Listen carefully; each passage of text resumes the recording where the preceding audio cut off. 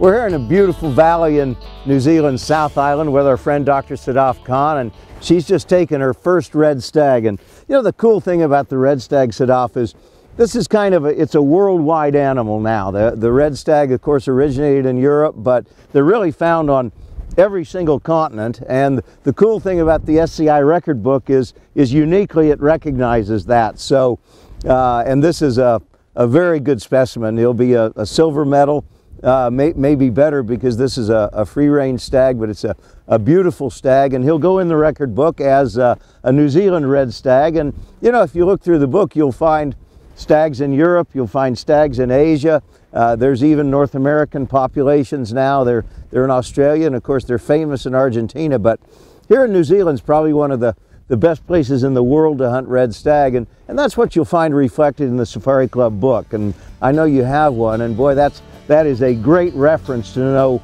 where to go to look for one animal or another, and uh, you've done well. This is a, a pretty good start for a first red stag.